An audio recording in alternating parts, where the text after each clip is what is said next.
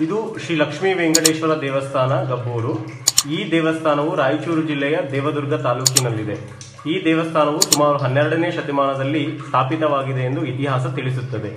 ಈ ದೇವಸ್ಥಾನದಲ್ಲಿ ಶ್ರೀ ಲಕ್ಷ್ಮೀ ವೆಂಕಟೇಶ್ವರ ಸ್ವಾಮಿಯ ಸಮೇತ ಆಂಜನೇಯ ಶ್ರೀ ಲಕ್ಷ್ಮೀನಾರಾಯಣ ಮಹಾರುದ್ರ ದೇವರು ಸ್ಥಾಪಿತವಾಗಿದೆ. ಈ ದೇವಸ್ಥಾನದಲ್ಲಿ ಶ್ರೀ ಲಕ್ಷ್ಮೀ ವೆಂಕಟೇಶ್ವರ ಸ್ವಾಮಿಯ ಪವಾಡವೇನೆಂದರೆ, ಕುದಿಯುತ್ತಿರುವ ನೀರಿನಿಂದ ಅಭಿಷೇಕ ಮಾಡಿದರೆ ಪಾದದ ಕೆಳಗಡೆ ಬರುವಷ್ಟರಲ್ಲಿ ಆ ನೀರು ತಣ್ಣಗಾಗಿ ಹೋಗುತ್ತದೆ. ಆ ಸದೃಶವಾದ ಘಟನೆಯನ್ನ ನಾವು ಇಲ್ಲಿ ಕಾಣಬಹುದಾಗಿದೆ. ಈಗ ಅರ್ಚಕರು ಅದೇ ಘಟನೆಯನ್ನ ನಮಗೆ ಸಾದರಪಡಿಸುತ್ತಾರೆ ಇಲ್ಲಿ.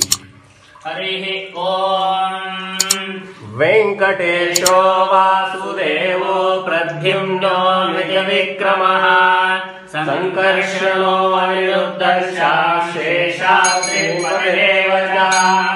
ಜನಾರ್ದನ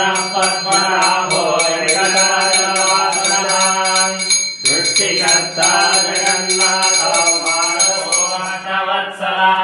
ಈ ಹೊಗೆಯನ್ನು ಕಾಣಬಹುದು. ಇದು ಬಿಸಿ ನೀರಿನಿಂದ ಆಗಿದೆ ಹೊಗೆಯನ್ನು ಇಲ್ಲಿ ಕಾಣಬಹುದು ನೀವು.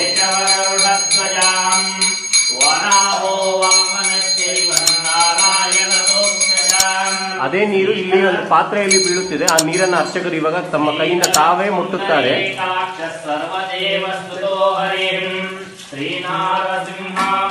ಆ ನೀರನ್ನು ಈ ಪಾತ್ರೆಯಲ್ಲಿ ನೋಡಬಹುದು ಪುರಾತನಃ ತಣ್ಣಗಾಗಿ ಹೋಗಿದೆ. ಇಲ್ಲಿ ಇನ್ನೊಂದು ಘಟನೆಯನ್ನ ಕಾಣಬಹುದು. ಅದೇ ನೀರನ್ನ ಪಾದದಿಂದ ಅಭಿಷೇಕ ಮಾಡಿದರೆ ಸಾದಾ ಬಿಸಿ ನೀರಾಗೇ ಇರುತ್ತದೆ ಹೊರತು ತಣ್ಣೀರಾಗಿ ಮಾರ್ಪಾಡಾಗುವುದಿಲ್ಲ. ಅದು ಈ ಘಟನೆಯನ್ನ ಇಲ್ಲಿ ಕಾಣಬಹುದು ನೀವು.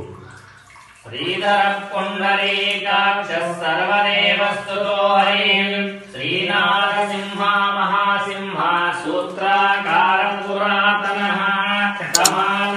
ಆ ಹೊಗೆಯನ್ನು ನೀವು ಕಾಣಬಹುದು. ಹೊಗೆ ಬರ್ತಾ ಇದೆ ಅಲ್ಲಿ. ಬಿಸಿನೀರಿಂದ ಆದ ಹೊಗೆ ಅದು.